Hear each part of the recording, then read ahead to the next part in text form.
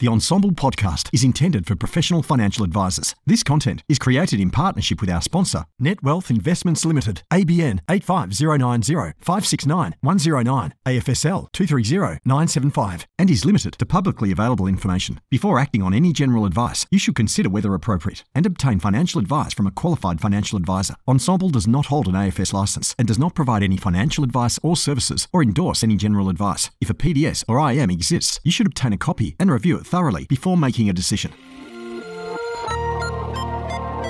Advice Tech. As if it wasn't enough to be across TMDs, Alpha, Beta, Rule of 72, and all the other nuances of financial advice. Now, advisors are expected to be across all the technology options too, and there's so many of them. But never fear, Peita D is here. Join me each week on a journey of discovery through the software and apps on offer for advisors and advice businesses. So let's dive in, fellow advice explorers. Discover a world of advice. Join Matt Heine, CEO of Net Wealth, as he chats to industry professionals and thought leaders on the latest technologies, business models, changing demographic patterns, and general trends impacting wealth management. Listen at netwealth.com.au forward slash between meetings. This ad is presented by Net Wealth Investments Limited and does not consider individual circumstances. Seek professional advice and read the relevant PDS to determine if Net Wealth is appropriate for you. Past performance is not a reliable indicator of future performance. Hello and welcome to the Ensombl Advice Tech Podcast. I'm Peita Diamantidis, and joining me here today is the incoming host of the podcast. He started as a customer service specialist, which I love. Um, that's where all the hard work gets done. Then he worked his way up to becoming a financial advisor. He's now the head of technology that seems relevant for Collins SBA in Tasmania, but is in fact joining us here from Rome, Italy. Thank you so much for joining me here today, Patrick Gardner. Woo! Welcome. Thank you. Yeah. And welcome to your grand finale. How are you feeling? Oh, it's a bit weird. It's a bit, it's strange, you know? It's, I'm just so used to talking to the screen and and that sort of thing that's a bit odd in fact before we kick off and i didn't Yeah. warn you i was going to do this but before we kick Oh, off no. i've got to share something that just happened two days ago to me Mhm. i was going to the opera house to see some theatre parked in that crazy whirly car park underneath the opera house Uh-huh. and you're all a bit close together. And the car next to me, the guy had just arrived to leave, right? So he just got into his car to leave. His window was down. And I get out and he takes a look at my Mustang Mach-E and said, Wow, you're driving my midlife crisis car. And I laughed, you know, and I said, Oh, it's my midlife crisis car too, right? And in hearing my voice, he jerked his head and looked straight at me. He went, You're Peita from the Advice Tech podcast. like, I am, he said. And he held up his phone and he was just plugging it into the car to listen to a pod, an episode of the podcast. Can you believe You're that? joking. No, That is incredible. unbelievable. So that was my little two and a half seconds of fame right there, folks. Um, and I didn't grab your name, sir. So please reach out, whoever I bumped into at the Sydney Opera House car park. It was an absolute joy and gave me a really good giggle. So, Patrick, you have that in your future. Oh, You I- yourself. I cannot wait. And obviously, you do too still because the episodes won't disappear. There'll still be 70 plus um, moments of gold I know. on all uh, popular podcasting platforms. Yes, exactly. I mean, yes, folks. So, um, you may not realize it, even though you've been uh, allowing me to pop into your earbuds every week. But we are at episode seventy-two, I think. So we've been together quite some time. Uh, so thank you for allowing me to do that. Now, when we decided that we were going to do a handover episode, um, we figured that it makes sense, right? I mean, anytime there's a new somebody takes on a new role, you hand over things. So we thought, well, we've got to do that for this. We've got to give the listener the opportunity to to hear from us both together. And I love that you cheekily decided, well, that'd be a great opportunity for you to grill me on our use of technology, right? On it, actually specifically the apps I use, which I Right. love. Yeah. Which would be so. In fact, we're going to get to that. We're also going to get to um, brainstorming between us if we could start with a blank slate, what tech we might or how we might approach that, which is an interesting concept. And for any of you that are early on in your tech stack journey, I reckon that could be pretty cool because for some of us, and I'm sure um, Patrick, you guys at Collins and, and for us, we've had this, you know, we've got legacy systems we've got to deal with or legacy approaches. Whereas if any of you are a bit early on, I mean, part of me gets a bit excited about the thought of wiping it all clean and starting again. I've got to say, I don't know about you, Patrick. Would that be a bit exciting if you could I just mean- start clean again? I'm thinking about this on a daily basis. I would Yeah. just, I'm just so envious of probably every startup out there, or maybe even every non-financial services business where everything actually integrates. I think, yeah, it's, it's a dream of mine personally. Right. And uh, look, and I think it doesn't even have to be um, you starting from scratch for that reason. It could be because maybe you're moving dealer group or something. Like those those moments are an opportunity to go right then. What should Breaking we free do? from how- the, the shackles of mandated technology. exactly. Exactly. So before we dive in though, right, we'll dive into the serious stuff in a second. I figure we've got to cover the daggy questions I always start the podcast with to get use, you know, to get to learn your personal use of technology and hey, mine too. So let's kick it off with the question I know the listener is waiting for. What's your most used emoji? Do you use emojis? Of course, uh, a millennial, so definitely a quick little reach away from the keyboard. It's got to be for me the smiley face, but with a single tear rolling down the cheek. Oh, because it just works in every single uh, scenario. So you might have a Yeah. team member leaving, they might be unwell, or they might have achieved something, and you're actually crying but with happiness. So it's just a very versatile one. nice. How about yourself, Peita? Has anyone even asked you that ever before? No. So, so look, I've got two. When I took a look, I've got two that are absolutely my most used. Um, one is the smiley face with star eyes, Oh yeah, yeah. and what's hysterical is actually in my head when I click on that. What I'm actually like in my head, the sound is ta-da! Like I've got a whole, Right. like this whole experience with that emoji for me. Like so, it's it's got its own energy. And Yeah. the other one I use loads, which is probably my default one, is the nerd. So it's the smiley with the glasses. yeah, and the teeth and- sort of peeking out there too. Yeah, Yeah, because I think for me, what do you know what I love emojis for? And we're actually using them lots more in client commu- communications. We now use mm-hmm. emojis and GIFs a lot more than I thought we ever would. Yep. Because it just sets the tone. It's like the soundtrack for the words you use, you know, and it can just take the edge off. And so the, the geeky one I find if I'm saying something that's a bit, even on LinkedIn, you know, I'm commenting on something and it's a bit formal, I'll just add that and it just sort of takes the edge off a little. yeah, definitely. it's- There's a tiny little bit of context, just if they're unsure reading it in a certain way. I love it. Exactly right. Alrighty. Now, second up, smartphones. Dang them. We've always got them. We can't live without them. Some of them have them on our wrists. Um, if you had to delete everything off your smartphone and just keep three apps, what three would you keep? Well, Peita, I was going to say Macquarie, but then I'd also need to keep Macquarie Authenticator, so that's two. So, you know, the first time I've needed an app for my app. So we'll skip that one. Um, pretty boring. So Spotify, or actually not anymore because your era is over. Uh, Mm. WhatsApp for family and friends, and I'm ti I'm sort of tied between Google Maps or Google Translate. So currently in another country, but um, I think we'll go with Google Maps. Good point. In fact, Google Translate, my husband and I were just discussing that. We're planning a trip to uh, South America later in the year for our 20th wedding anniversary. and we both both talked about how powerful Google Translate can be in the moment. You know, and it's not. I'm a big fan of trying to just wing it when you're in places and, and make the effort, but it's when it's that complicated thing you're trying to do. Yeah, Like, mm, I think I body the language only words. gets you so far, and waving your Um, hands around. Yeah. hmm and speaking English when they don't speak English. Yeah. completely. Now I'm right there with you with Google Maps. Google Maps is so it's not just um, the tool I use to get from A to B. Uh, 100% it's that. But actually, I use it to collect places I've loved or want to go to. Yeah. And Yep. so I can, I could now log in and if somebody said, Oh, Peita, you know, that um, restaurant you said was really great on the Faroe Islands.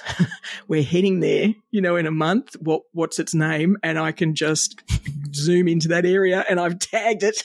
oh, its name's this. So, so I, um, collect all those places for all over the world, uh, and Sydney. You know, I've got all sorts of places tagged. Uh, so it's my little sort of adventure map as well as just normal map. Um, And I assume you've done that obviously for your upcoming trip as well. So yes. 70, 80% of the hard work's already done. Yes, and in fact, um, so Nick and I love my husband and I. Sorry, I love watching uh, things like everybody uh, loves oh somebody feed Phil, you know, Yep, and all these sort of food shows. Uh, and so you know, w- as we're watching them, I'm sort of like actively watching them, as in, oh, that looks yummy. Tag. Right? That place in the deep south, south of America with barbecue, tag, you know, so they're Yeah. all going to Google Maps. Um, so anywhere that I travel, there's invariably somewhere I've already heard about um, that we're going to visit, which is lots of fun. Now, what are my others? So, so Google Maps definitely. Look, we I love movies and cinema, so IMDb, um, which for those of you who don't know is the Internet Movie Database app, Yep. which is that question where, where what other movie was that person on? You know, like that sort of Yeah. stuff that my husband and I have as debates. So that would probably would be the other one, and finally probably Slack. Our business Mm. completely runs on Slack, so when I travel, that is the one app. Even if I've said I'm out of action, that's the one app I probably would keep on anyway. So Keeps you connected. Yep. yeah, exactly. And and in a really easy, don't need to trawl through everything way, uh, which we probably might get through to later, actually.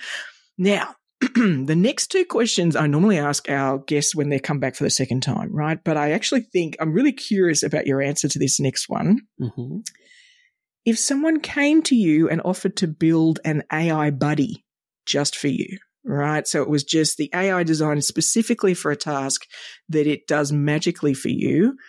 What would you get it to do, or what would you love it to mean that you never have to do again? I mean, this is this is a very lazy answer, but I am learning Italian. But probably just be able to communicate with someone fluently, Right. in whatever language they speak. As I said, So the currently the universal translator concept, you know? Exactly. But I just currently sort of sit there like a two year old and sort of smile and nod and just sort of say ciao, ciao grazie at the end and that's it. So Yeah. I think that would level me up entirely and, and sort of remove that um, intense learning curve that sort of, uh, I was going to say older Australians or people that are probably not children anymore have when they learn another language that's not English. Oh, definitely. And it's um it's actually quite isolating. I think people who particularly so I don't know about you, but I don't I don't speak a second language at all, right? So there isn't any of those that I've I've managed to do. And major maths brain, right? So I think that actually repels new languages. I think that logic Okay, yeah. logic doesn't help you learn a language, right? Yeah, It's just yeah. not how it works. So um, I've always struggled, uh, and I'm with you. It's to not be able to sort of feel included can be a struggle in a foreign I'm country. And just in my mind, the way I need to sort of shake off from the learning is there is not always the English equivalent of that word or that Yes. sentence structure. Like in your mind, you're having the English version on, on top of it or below it, Yeah, but it's just not how it works. I'm, I'm totally with you. But I I would love to know if someone offered you, offered you the same, what would you, what would you build? Mm. Well, mine probably is is in the category of my other favorite thing. So one of my favorite things is cinema, definitely. But my other favorite thing is food. I'm a bit of a foodie and we love cooking. And so I would love some AI that would let you scan in all the recipe books you have and all the maybe mm-hmm. downloaded recipes from the from the web. And then I could say to it, well, we've got some broccolini that's about to turn. What, what are some recipes? You know, and even if it just gave you the list and then I went off to the book and looked at page 32, just to not have to flick through every Mm. book to find what we're looking for. Apple Vision Pro on your head or something like that. Yeah. Yes. So that I would love that. Um, I don't need it to trawl everything because there's, you know, as in all the, all, all the world of recipes, I do that sometimes, but it's a bit overwhelming, but I'd love Yeah. it to sort of point me to the right direction for the things we've got to cook.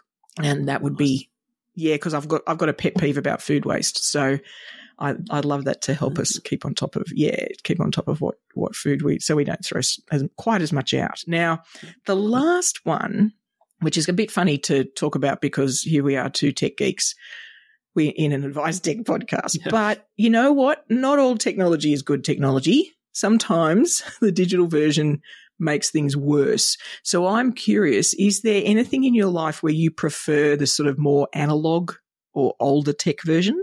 Is there anything? I I think if you if you asked me recently, I probably wouldn't have an answer. But I have recently bought like a secondhand Canon digital camera, Oh, so that, that is just like sort of early 2010s tech, or maybe Yeah. maybe even before then. But it's it's just a for me, it's a cool feeling just to take that one photo instead of 20 or 30 on your mobile, yeah. and then the actual physical transition to that device to see it on a bigger screen. But I mean, on the flip side, you realize how good your and how convenient your phone camera is and how they actually help you take better images. But Mm. just that tactile nature of turning on the camera, pointing it and pressing shoot is really nice. Um, It is. There's a Yeah. thoughtfulness to that process, right? There's just something a bit more, yeah, a bit more meaningful taking a Mm. snap. Um, and yeah. the weight. oh, I yeah. think actually the weight of the camera makes a difference. Um, it's yeah, it's interesting. It's that, that's a really good point. Actually, we and we did a instantly trip. look like a tourist Yeah. you are. Yeah. Yep. Put a target on your back. You know, if you're in somewhere like Rome. Oh, look at me! With have you, have you got it on a strap around your neck, or have you managed to avoid doing no, that? I'm, I'm not that. I'm not that sort of um, US or sort of yank tourist yet. But I, I, you know, could be. Nice, nice, nice. Now, for me, the and this is going to sound funny. Well, actually, I mean, not not dissimilar actually to your example, where we're not talking really analog technology like a rotary Mm. phone or something. Uh, it's more a previous version, but I'm a big fan of seeing movies in the cinema, Yeah. big screen, enjoying the surround sound. The dark space, you know, and really getting absorbed in in a movie, and it it Yeah. really stood out to me actually last week.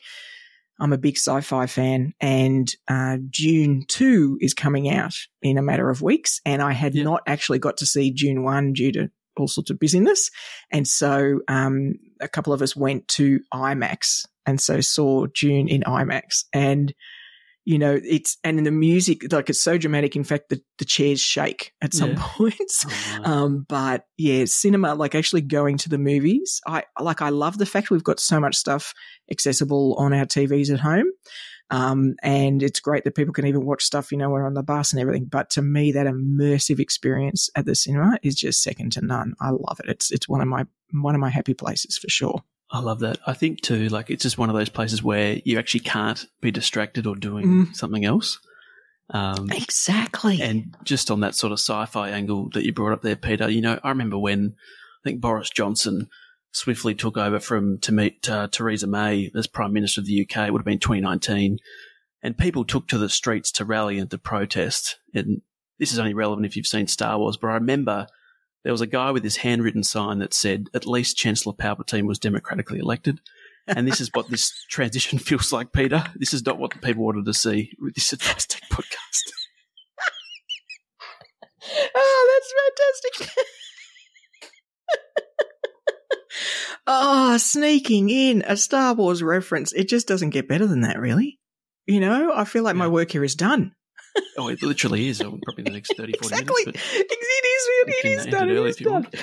Oh, I love it. I love it. I love it. Now, we've eased it in, folks. So, Patrick, you were keen to sort of grill me on our tech stack. Um, and in preparation, I thought, oh, you know what? That'd be an interesting summary, wouldn't it? And we've sort of got, we've got a sort of a big tech audit list and we've got all that sort of stuff. But I thought, all right, Peita, you know, what are the key? Then I started writing. I'm like, oh, wow, there's a lot of things on that list. So, Yeah.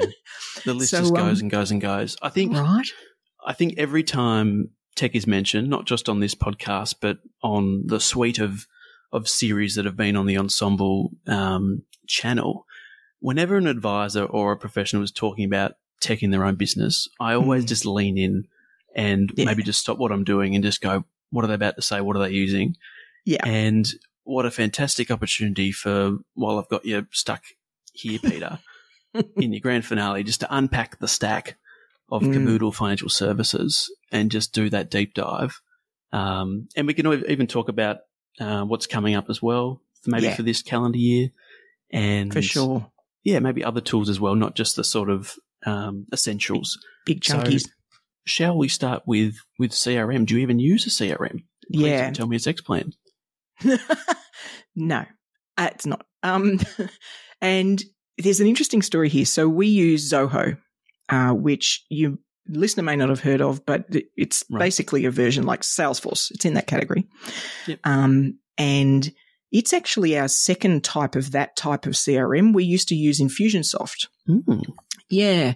And it all came about because for longer than a decade, I've been really obsessed with automating the little stuff. Yeah. And it, back then, it just simply wasn't something that any of the tools in our industry were doing. They certainly had workflows, you know, so Yep. it could then push you to go, hey, that's the next thing you need to do. Make sure you set that task. Or, hey, that's the, you know, so it's sort of, well, the tools had that, but it didn't set up the four things and and click Right. there and add that field, you know, like that level of automation. Whereas CRMs in the bigger world outside of our industry have been doing that stuff for years. Yeah. And so it's uh, like I literally went to a conference overseas um, and a, a, really, you know, like a CRM conference and just mm-hmm. sat there listening to what truck drivers were doing with their little businesses, thinking, okay, they're leagues ahead of where I'm at. So yeah, it, um, yeah, so we, we've got this focus on automating the little stuff. And so that's mm-hmm. why we've got a, you know, a CRM like Zoho. Yeah.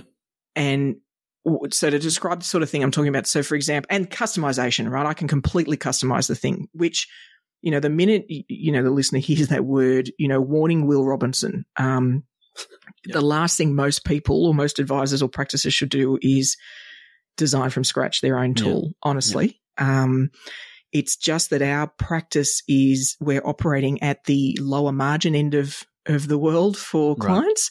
So we uh, and intentionally, um, and mm-hmm. so we had to find every possible uh, spare moment and minute and bit of efficiency, and have needed to do that for you know fifteen years. So for example, in terms of the layout, when you log into our CRM, mm. then the home screen for a client file, you know, when you log into a certain client, is completely designed by us. So to the extent that the top banner changes color for certain things. So oh. if there's a specific issue going on for that client that's really important and urgent and everybody in the team needs to be aware, it's red in that top banner, just so we're like, okay, something going on.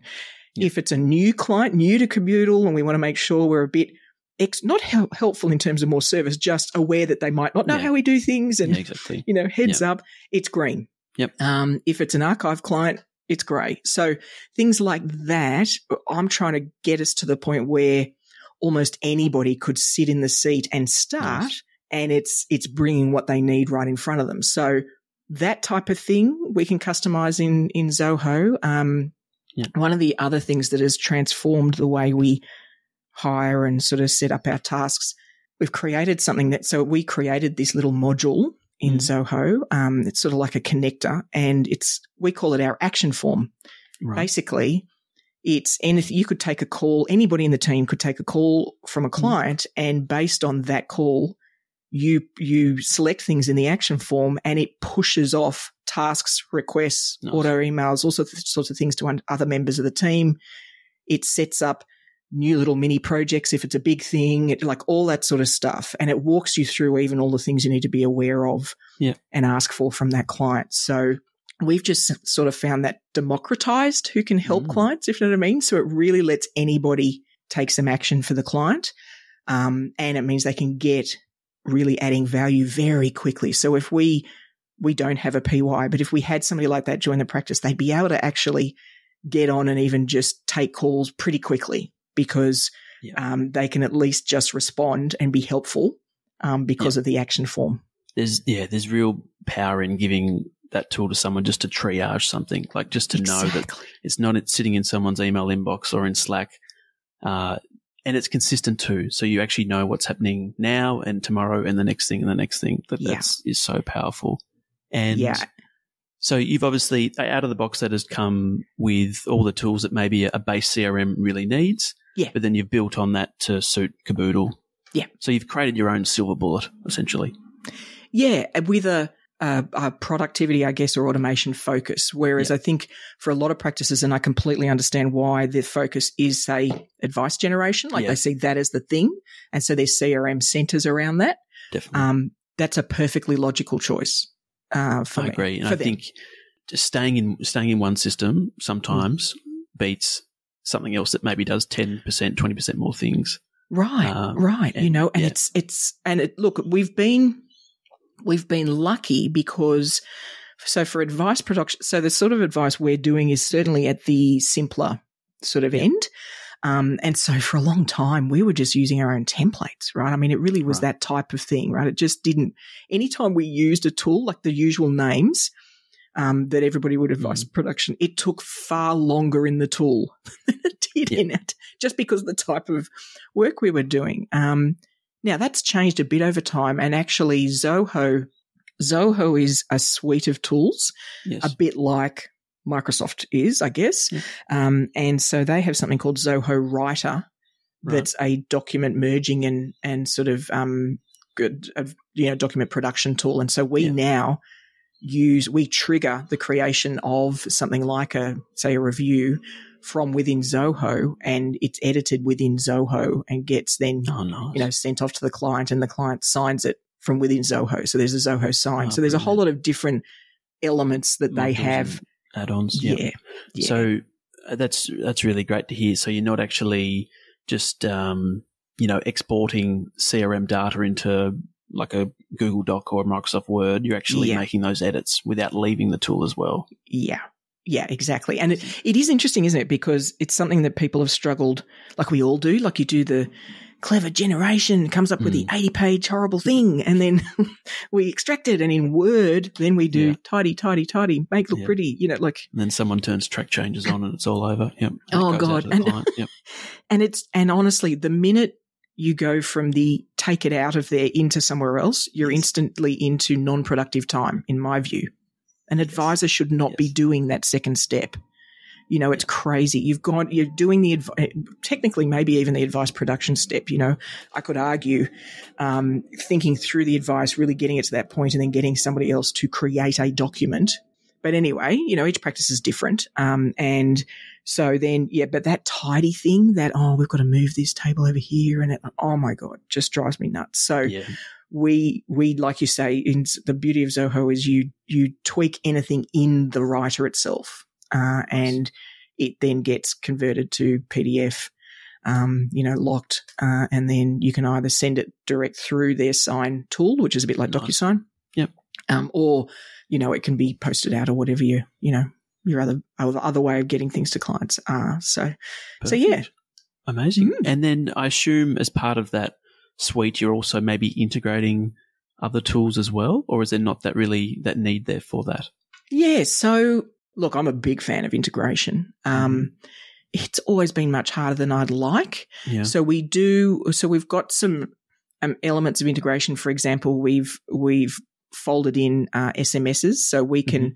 We've got a template of of SMSs we use for particular situations. That's embedded now in Zoho, so we can press a button, pick the template, and off it goes, and it gets saved against the record. You know that sort of stuff.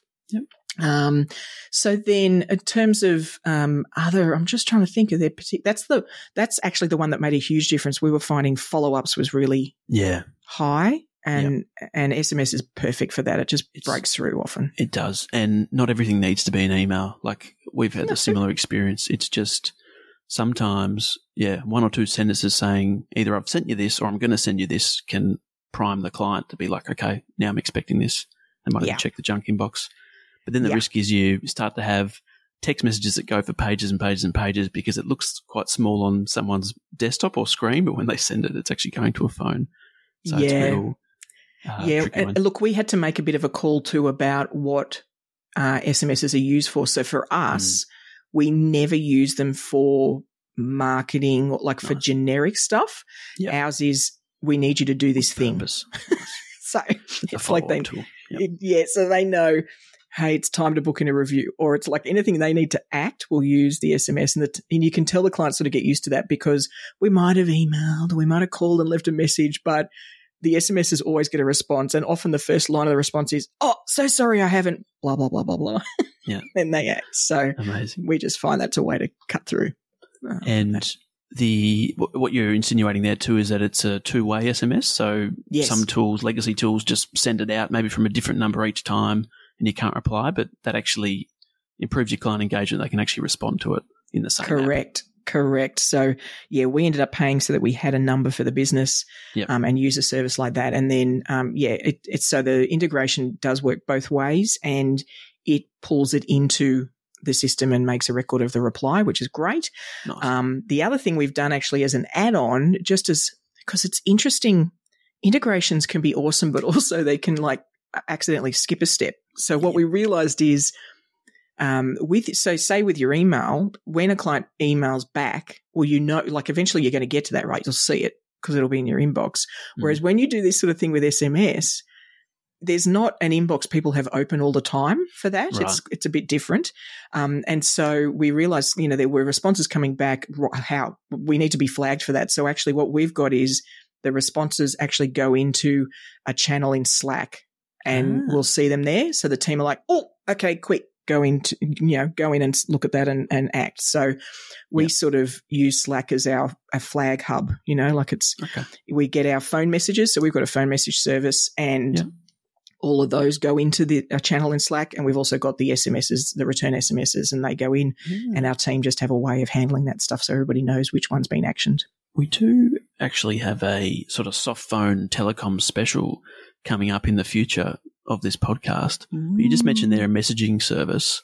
Is that uh, someone else is answering the phone or it's going Yes. straight to voicemail or how does? Yes, exactly. So we've got soft phones because we're all virtual, so we can call you know through uh, an app, Yep. which is great. Um, and the power of that and being able to send messages and all that, like oh, sorry, Mm-hmm. being able to forward calls and everything. But we've also got um, as a backup human beings, you know, in a little mini Yep. call center who, Yep. if nobody answers the phone, take a message um, and they get certain details and it pushes, you know, they basically normally they email with the message. But what we've done is push those emails into a channel in Slack.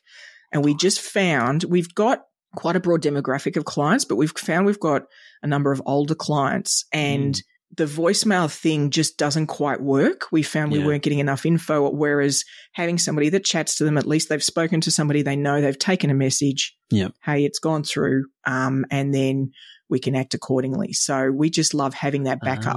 Ah, Um, our aim isn't you're- to have too many getting handled by them, but we just have it on all the time. Um, and also, also during the breaks, you know, if we've got the office shut down, at least somebody's there taking messages, telling people we're not back until whatever date, and there's an escalation Nice. thing we put in place. So, nice. yeah, That's really cool.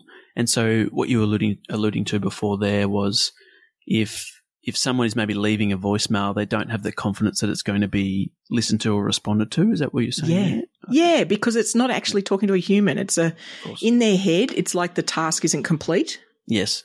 You Yep, know, whereas I, totally get think once you speak to somebody, even if it's not the person you're looking for, it's like, oh well, at least Yeah. I've ticked that thing off. You know, it's Yeah. it, I've handballed it.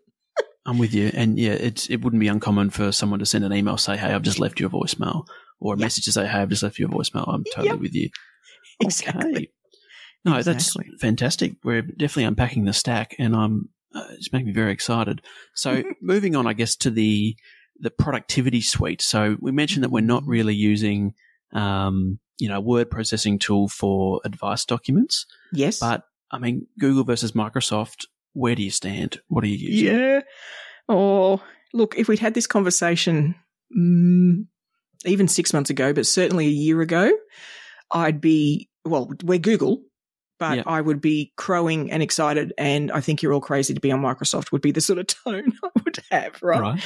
We are. Um, yes. Yep. In part because, because Google Suite is properly cloud, like it lives properly in the cloud. Yes. Microsoft tries very hard to do that, but it's not really. Like it's just not. And it's even when you're Yep. using, say, Excel via the cloud, like you can't get all the features, or you can't like the whole. It's clunky as like in my experience, clunky as hell. Right? Yeah. It just feels a bit off. Yep. It does, right? And so, and then you know, versions of documents and all this craziness. Um, G Suite handles that like an absolute champ. Um, and Yep. so we've had that for some years.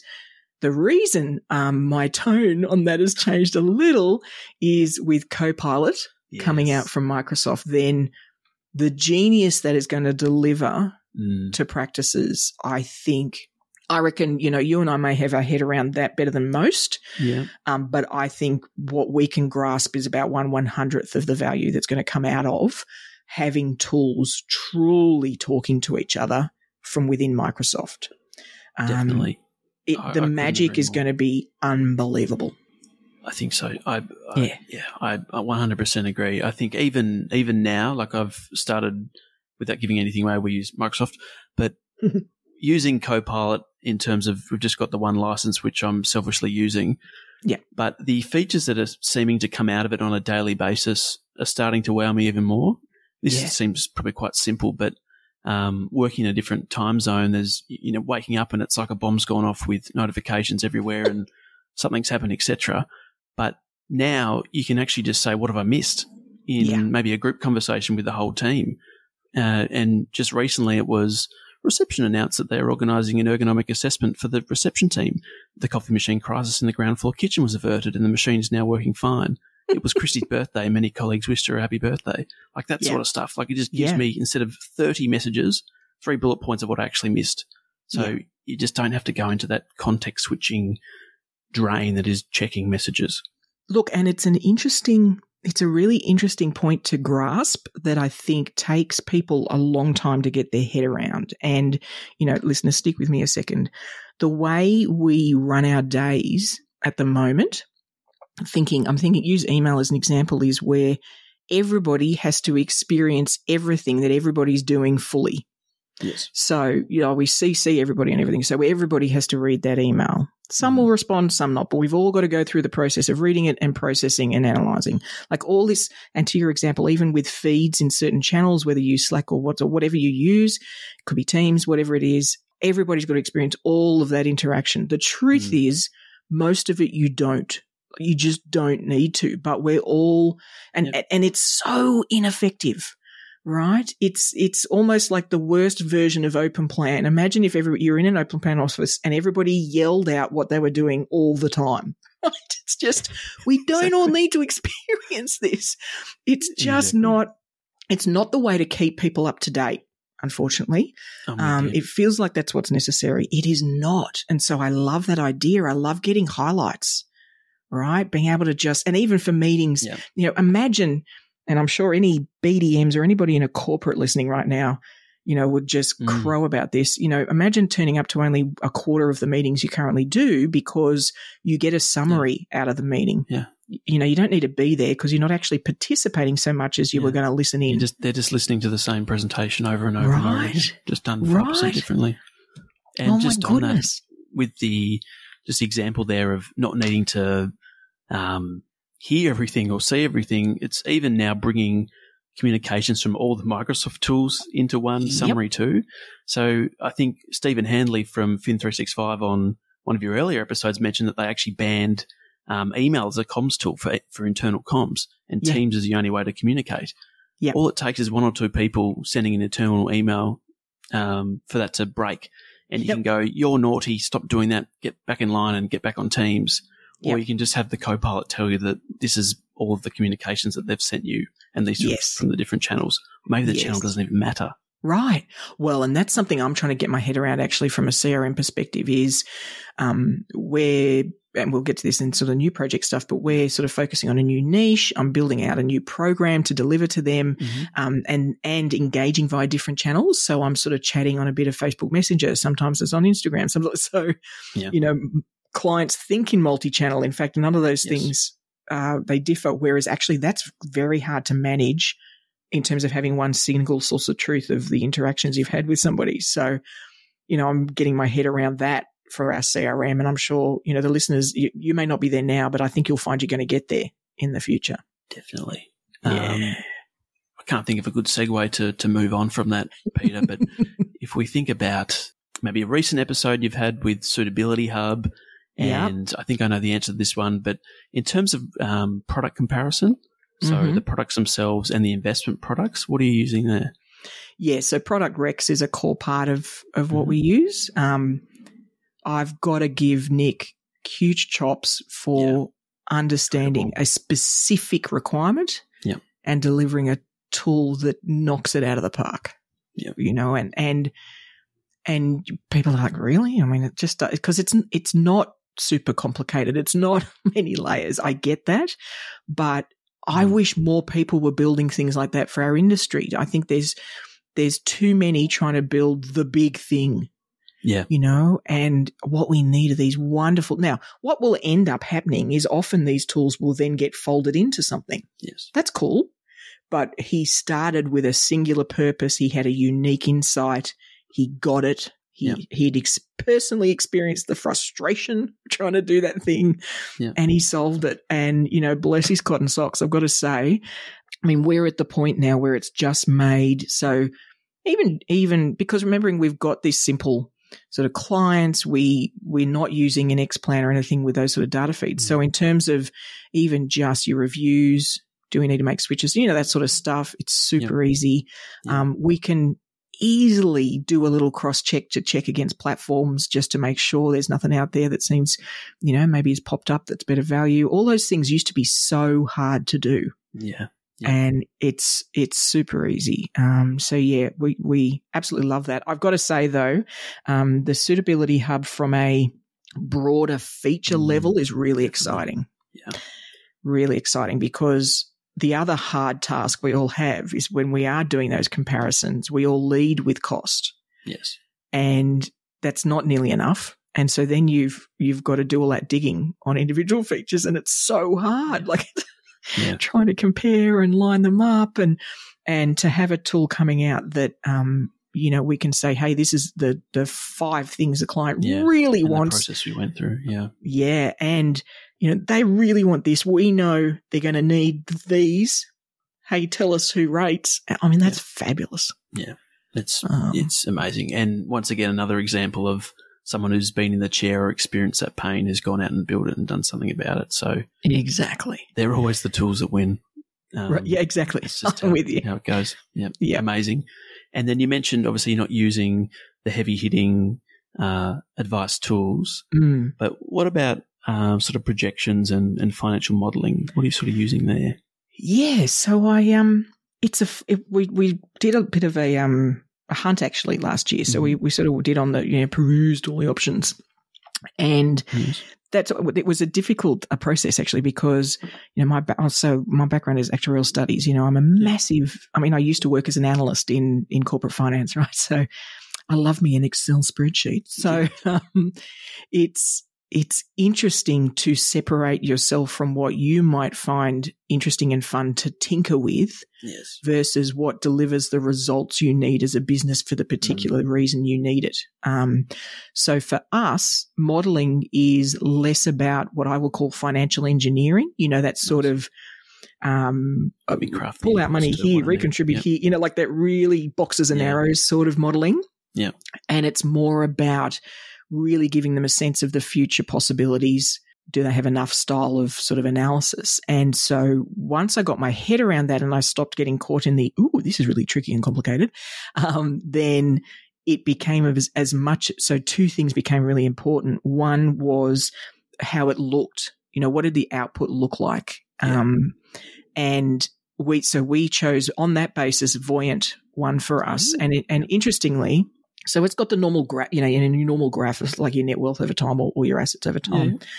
What Voyant does, which was a bit different for us, was it lets you have stages of their life. So it's like the first band in red or in green Oh. is the kids are at school, and the next band is is you're you're on your own in the house, but you're still working, and the next band is the go go years in retirement when you're still active and you're traveling, and then the no go years when you're like so. Hmm. So it lets us sort of break it, the timeline down on on that graph for clients. So I think they sort of connect to it better because they can see Oh. how it does change based on those sort of stages. Yeah. So Oh, That's that's a really great concept, a way of looking at it. I think, yeah, turning someone's life into a, a movie or a series or even Yeah. just chapters. yeah, Um, because it is so easy to be looking at what are we now, 2024, and you're looking at 2050, and just the it's like looking at big numbers. Eventually, they just turn into mush, and it's just so hard to visualize. and hundred conceptualize. percent. And and we make so many assumptions about what clients can absorb, um, and I I'm, I would argue it, even advisors can't absorb all that data in a hit. Yeah. I mean, how many of us have been to the you know, wonderful uh, fund manager economist session when there's 40 slides with all the graphs and you just sit there and in the end, you're just in zombie. You're like, Yeah. that, that's pretty. That's a blue line. Like you just, Yeah. just stop. It really favors the presenter because they've seen it before, Right. they've built it, they've done it 10 times. 100%. But when you're seeing it for the first time and they're rushing through it, it's just, uh, it's You know, information it's- overload.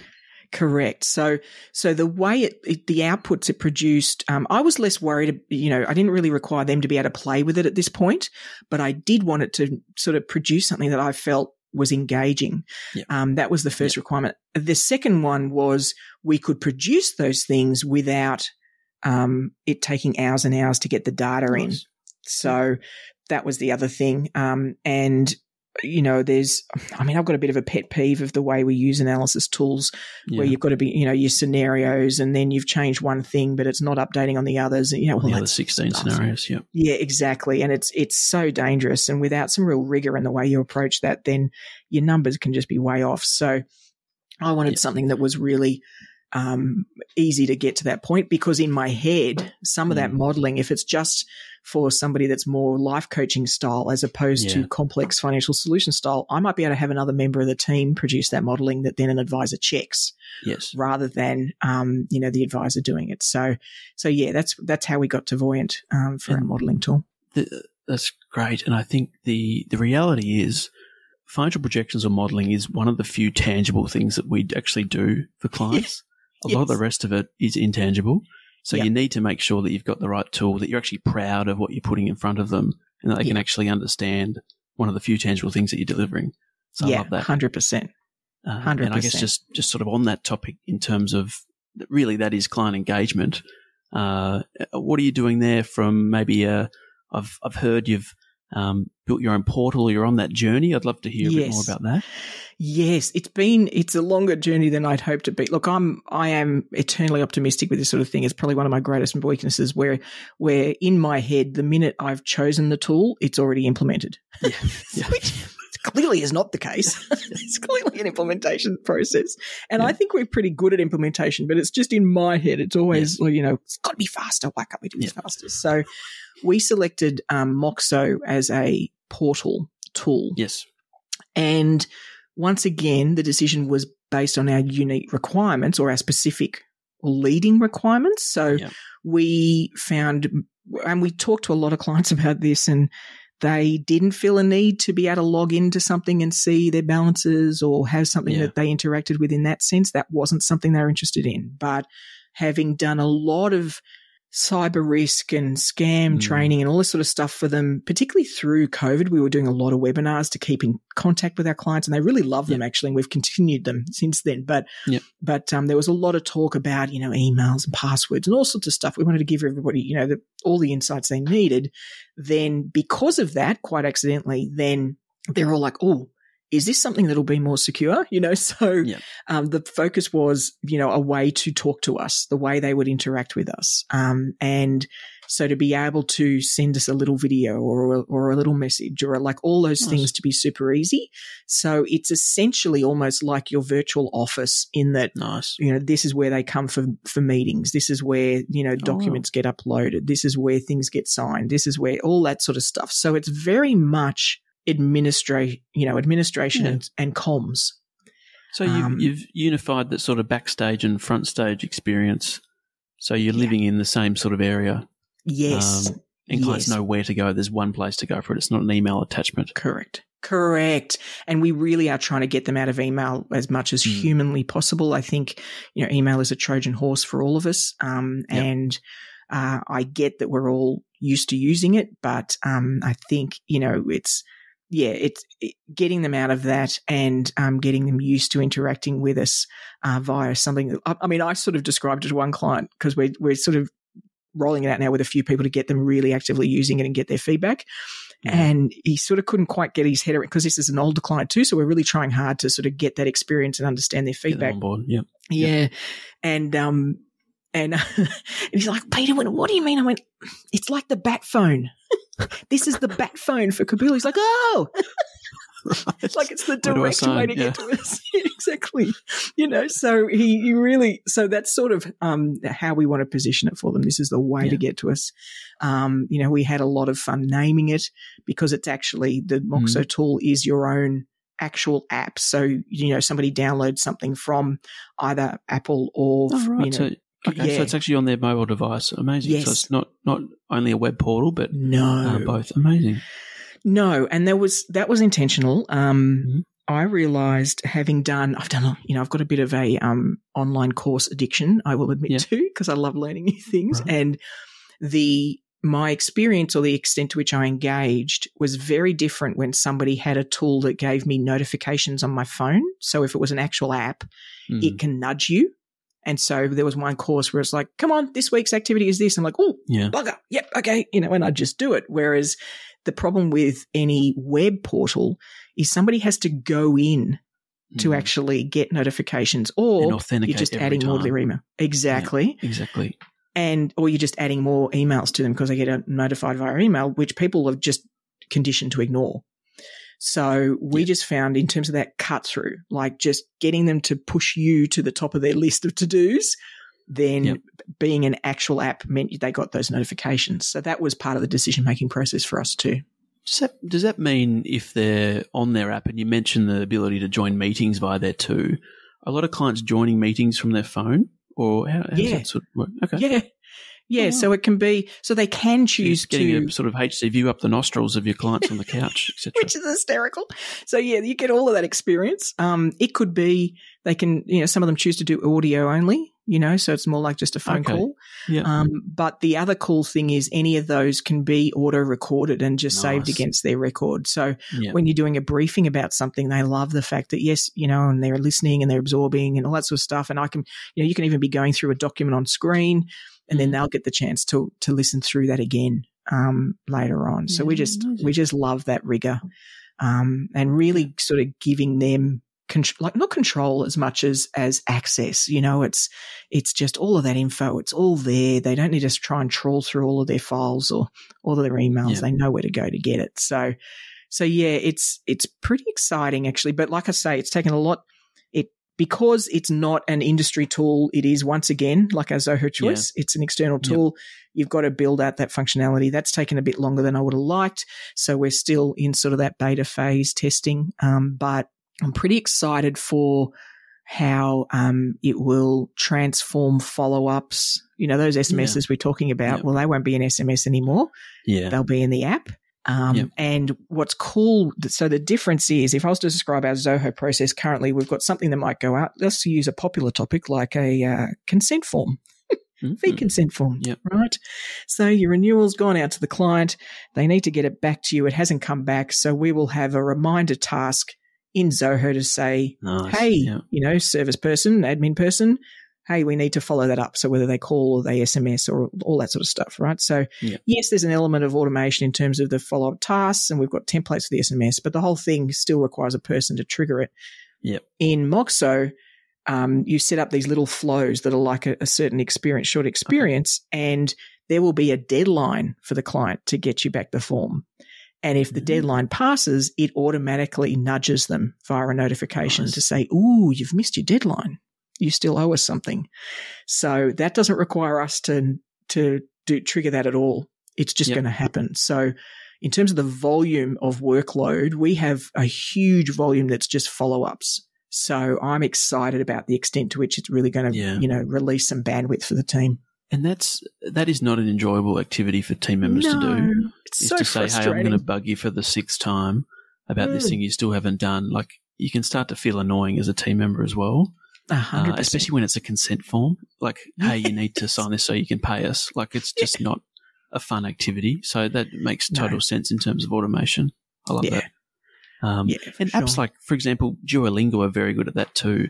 Like if you're Mm. learning a language and you're trying to, um, you know, they want you on there to upgrade to their paid plan. So they're pinging you every day to say, hey, keep up your streak, you know, or don't. Like if that's not what you want to do. Like they're really good at cutting through with really clear and effective Yeah. uh, communication. So that's really Yeah. cool. And it always seems to come through at the right time of day too. Like somehow. Yeah, I'm, I'm sure what they're using absolutely. that, but all that magic, Yeah. right? All of that magic, and Yeah. and definitely. yeah, that's where I'm excited. Um, using a tool outside the industry too. Generally, because they've got to compete amongst all those industries.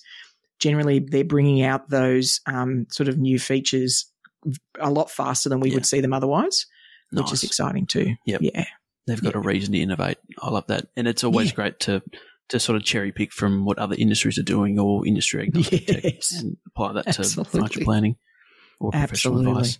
Um, so obviously you mentioned that was a massive project and you mentioned the, the modeling project Mm. as well.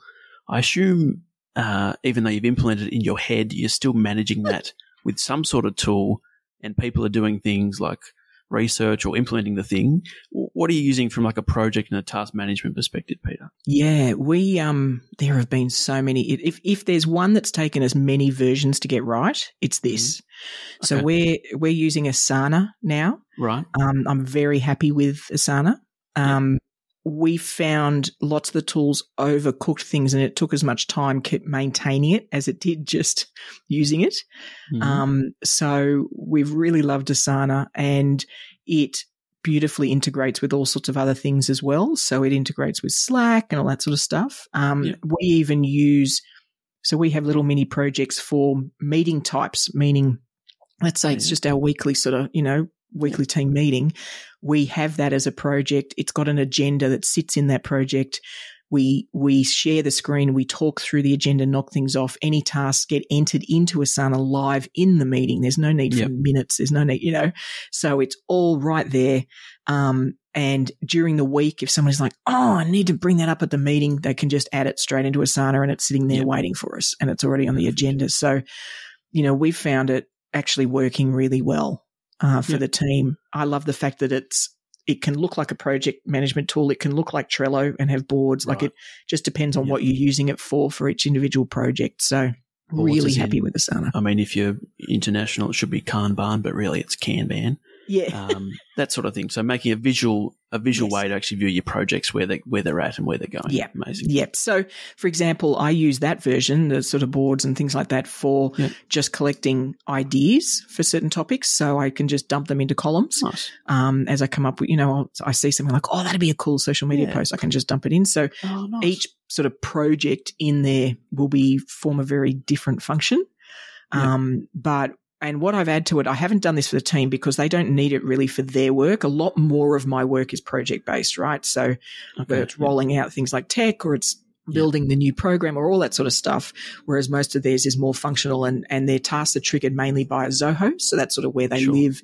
Um, for me, a lot of mine are these chunky time you've got to spend on things. So I've added to Asana something called Reclaim, right. reclaim.ai. And what it does is any task that you sort of add reclaim to, it says, all right, how long do you need to do it?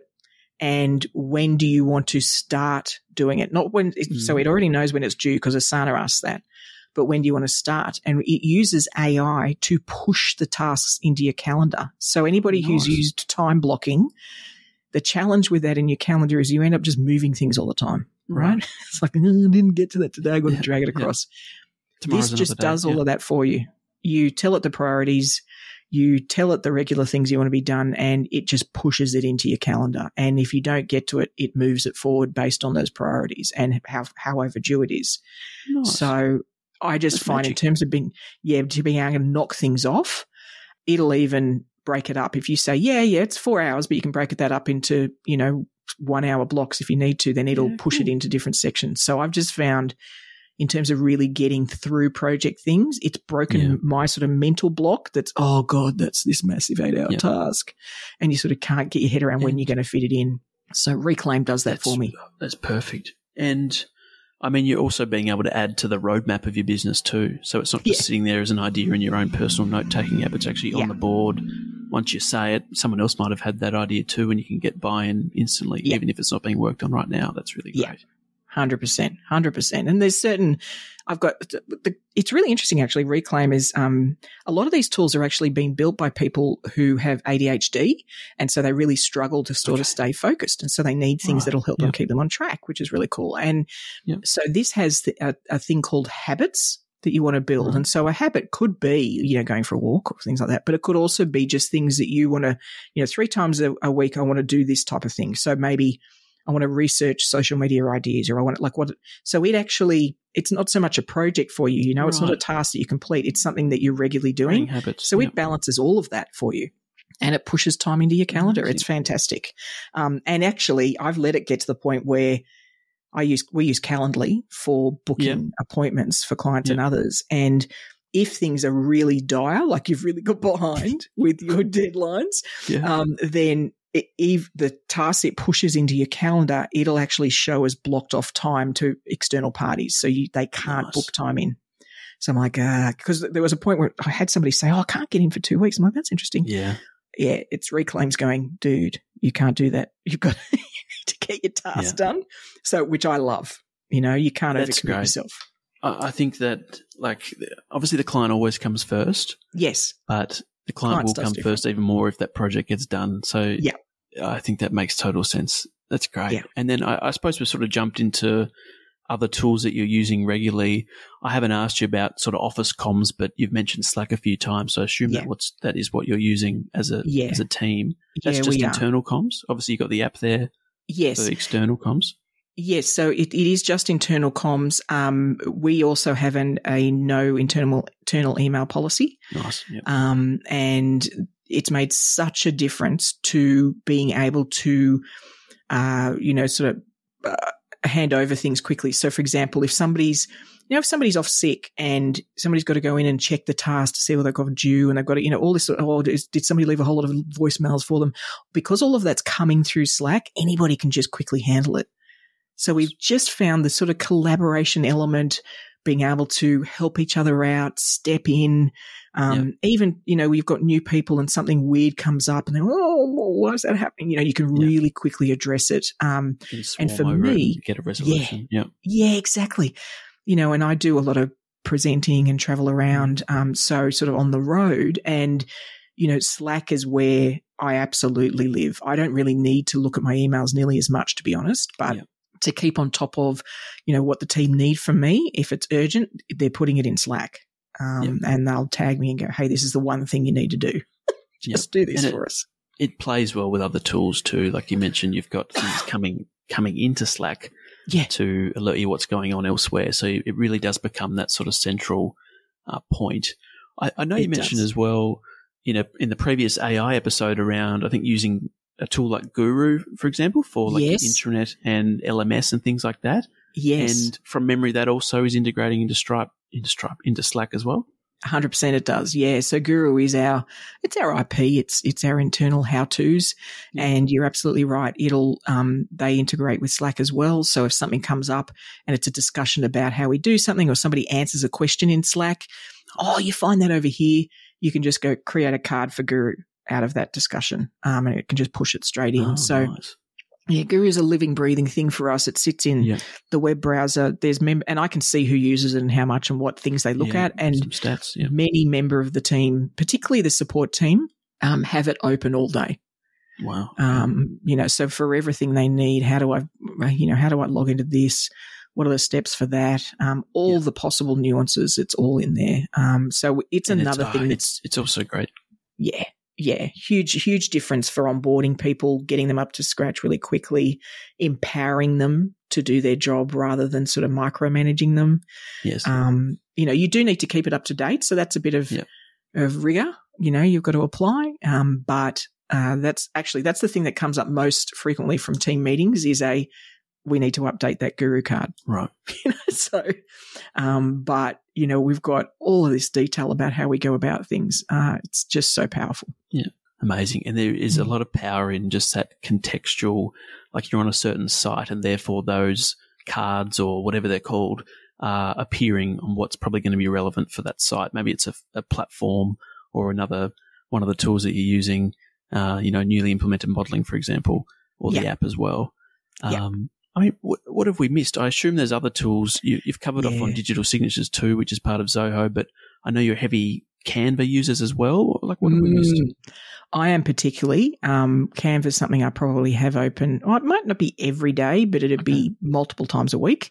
Yep. Um, and I think we're probably all underutilizing that. If Yeah. if if you're in a practice and you engage with clients and you don't know what Canva is, I need you to go in and spend some time playing, please, listener, Yeah. because the presentation templates alone will blow your mind. You you will be able to pull together what would otherwise have cost you ten thousand dollars with a designer in terms of quality, you know, presentations um, and slides.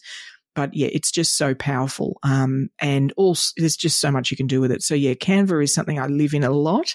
Um, Calendly we use a lot. Uh, and I use a fair bit of the automation for Calendly. So for example, Yeah. you know, booking in guests for the podcast. Yeah. Yeah, they book in via a link, but then they get you know, a sample of the questions that come out Yeah. after that. They get the reminder that it's coming. They even will get a, um, a follow up after the episode's done and the date's passed that has a link to a little form to ask them how they found it. Um, and we push those answers into a channel in Slack. So I can just see those Nice. come in and keep an eye on, on that feedback. So yeah, so we use that. Um, we're using Stripe. So we're starting Mm. to use that for Yep. the sort of program payments Nice. um, to make it really easy for pe- people to pay. I know that's something that's debated in the industry, and dealer groups have a challenge with that sort of stuff. But the concept Okay. of invoicing somebody for something uh, which they would prefer to just pay with a click, I Mm. I think we need to sort of move along with this and just make Definitely. it easy for people. Yep. Um, but yeah, those are the key one. We use Revex for for revenue. co- Oh, but all of those tools just need to do more for me. Yep. Um, but but yeah, we use that, and actually from a marketing sense, um, I'm currently using ConvertKit. So Okay. that's sort of for your opt-in landing page, email marketing sort of stuff. So that's more about leads. Um, ConvertKit Right. just make it super easy. There's great templates. It's all you know, honestly, it takes you seconds to set it up. I used to have about four different different tools to do that, and Yeah. um, I just find it works really well to just get things knocked up quickly, so people can you know either register for something or downloadable or you know, that sort of stuff. It's really easy. Oh, lovely. I think just on the on the Stripe side of things, I think the like that is how most clients in their personal lives uh they're going through that similar experience when they check out and buy something. They're Apple Yes. paying for things. They're signing up to subscriptions. Yeah, it's it's not a modern experience to be, you know, we're not emailing, but emailing out a, an invoice because it's time to pay us or right. filling out a, a PDF or even paper based forms. Like it's um it's time It's that we sort of level it up in the world, and Stripe makes it really easy too out of the box. Yeah, and and look, to, and there's lots of them you can choose from. Stripe also Of course. integrates with a whole lot of things as well. Definitely. So, um, you know, there's some power in that too, um, that you can sort of embed it and it all just flows through. Um, and I get it. Look, there's, you know, dealer groups, um, or sorry, licensees, um, you need to have structure and all that sort of stuff. I, I really think they all need to add these tools onto their list for 2024 because more of us are going to be doing, you know, six month programs or like we're all going to be coming up with new ways to engage as we should. And how exciting is that? But Mhm. when you do that, we can't be using old ways to pay. Yep. So it can't be this awesome thing we've designed, and then what I'm going to do is send you out a carrier pigeon that's going to be carrying the invoice for the thing. Like, holy Toledo, Exactly. Batman! So I think it's really important that the industry just jumps um, a few steps Yeah. ahead on And- on payment for sure. I mean, we were talking about follow ups before, but the the issue of failed payments or missed payments Ugh. that is is also in the current environment such a headache if you're not using a modern tool to follow Yeah. up and get the new card details or the new bank details. Like it's Yeah. just it should be simple. and also should be not at our end, meaning yeah, like Yes. they should just put that in. We should not see those details. I don't want to. I don't want any part of that stuff. Yeah. I don't want to know. You know. I, I want somebody else to be collecting that that they're comfortable with that does this for all sorts of people and has all of the protections required. So, um, yeah, I'm with you. I think you know there's and they're not fly by nighters. These institutions, you know, they're Yeah. yeah. so they're doing this for all sorts of businesses. So, so yeah, I would flag that as one that I think licensees could probably uh, lift the game Yeah. on for sure. Definitely trying to move away from the 1990s tech interfaces of revenue management software. Yeah, um, even though they got a fresh sort of coat of paint recently. Um, and I guess that's that is the stack unpacked, Peita. Is it? Is it pretty much. Look, there's Nice. there's always going to be more, but yes, absolutely. Those are sort of the, the Yeah. biggies. Um, uh, you know, if there's a listener that's, that's curious about a particular category, hey, pin me on the Ensombl platform for sure. Yeah. But those are the sort of big categories. Yeah, Nice. absolutely. Thank you for sharing. Not at all. Um, Now, I'm curious. I want to ask you, and listener, we've we are going a bit long, but I figure you're going to stick with us, right? So we, we're this, is a handover. This requires a bit more attention. Um, then I'm curious. You know, for you, what's on your radar this year? What sort of tech things are sort of catching your eye, or things you're going to either dig more into, or you're sort of in the process of implementing? What are some some project plans for you guys this year?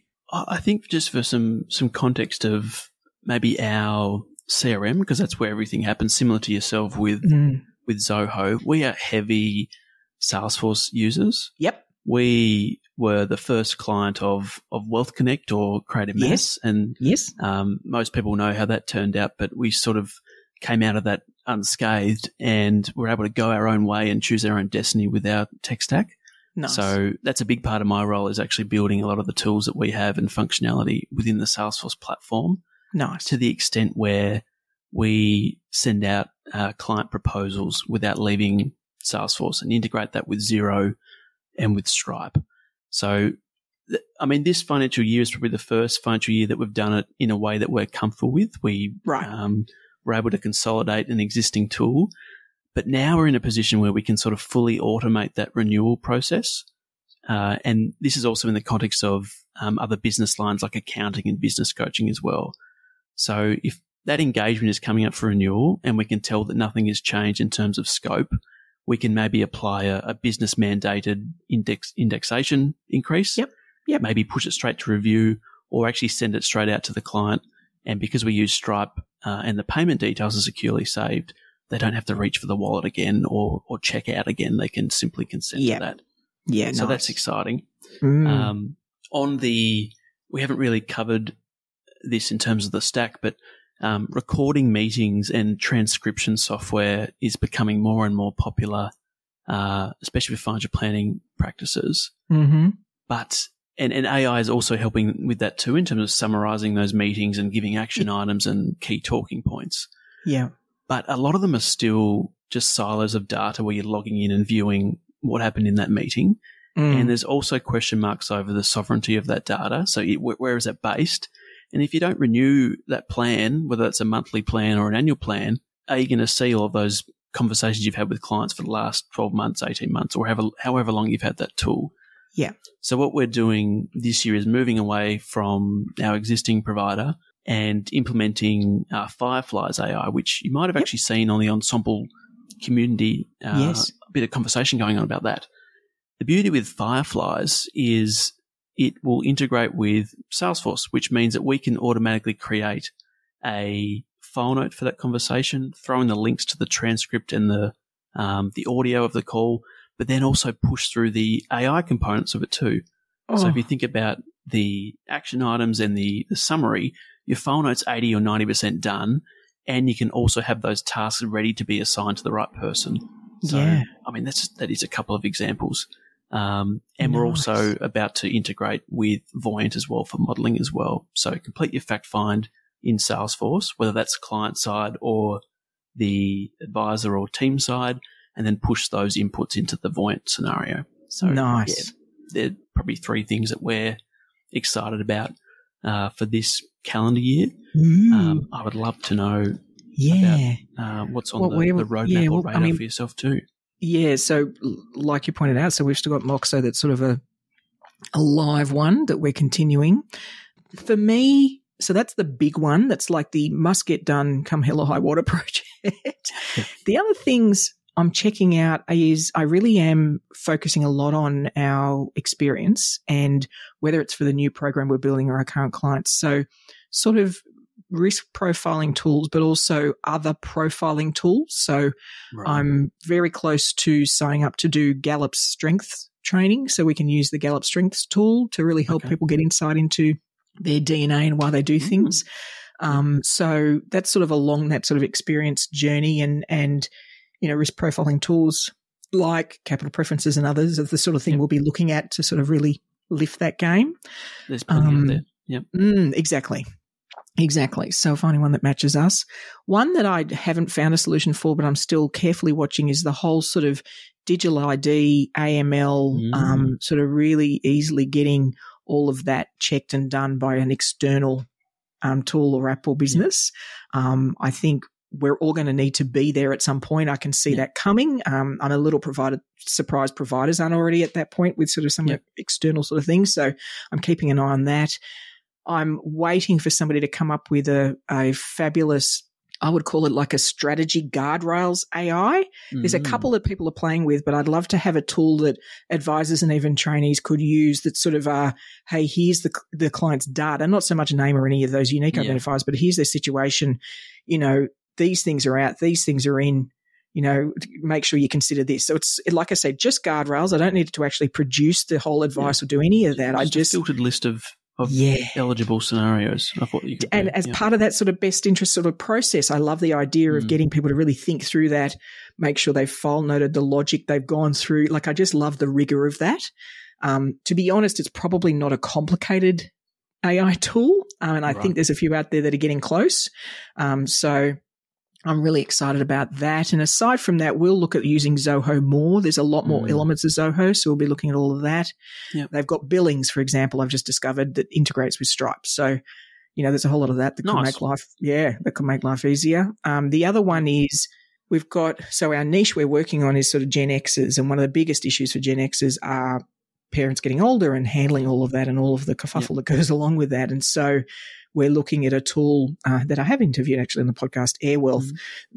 actually using that for adult kids to sort of, you know, be coordinated about all the things for their parents. So, um, to to provide yep. that to people so they can keep on top of things. Um, so I think you know the need for making all of that easier um, and taking the pressure off just one kid out of the however many kids in the family, adult kids, then that's something that's a flag for us. So most of them are sort of watching you know, like waiting for the right thing to come and then we'll leap. I know we've got the need. I just need to find the right tool.